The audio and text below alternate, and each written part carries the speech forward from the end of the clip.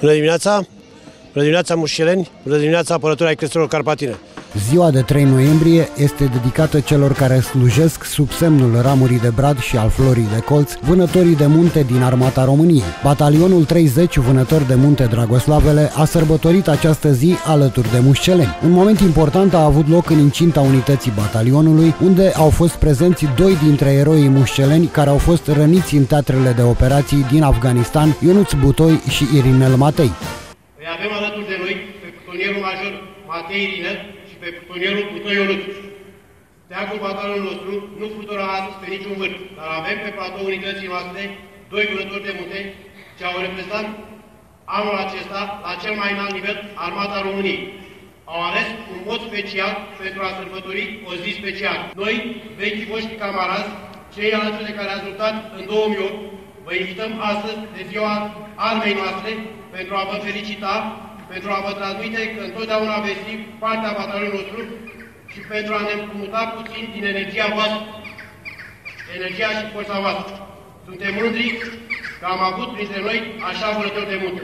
Comandantul batalionului, locotenent colonel Ionuț Ilinca, a adresat eroilor mușceleni răniți în Afganistan câteva cuvinte și le-a înmânat diplome.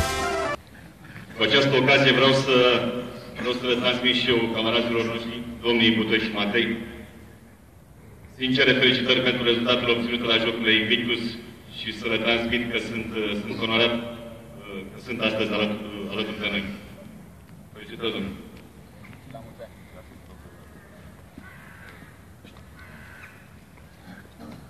Sunt apreciere pentru activitatea depusă sub semnul ramului de brad și al foii de colț. Bun, felicitări. Activitatea s-a încheiat în cadrul unității cu defilarea militarilor batalionului.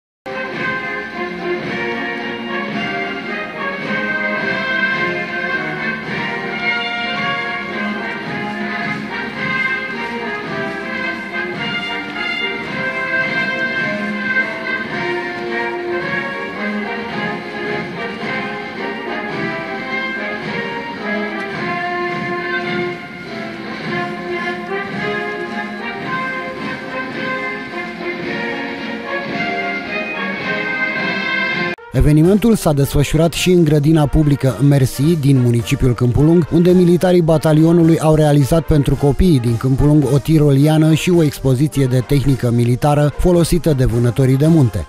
Ne prezentăm uh, câteva activități specifice, uh, principala atracție fiind uh, atelul de tiroliană, prin care copiii câmpulungenilor și mușelenilor se pot bucura în această frumoasă zi de sărbătoare pentru vânătorii de munte. Elevii au fost încântați și au participat cu interes la activitate, majoritatea fiind prezenți chiar la deschiderea evenimentului veniți de la școala gimnazială Nanu Mușcel din Câmpul Lung.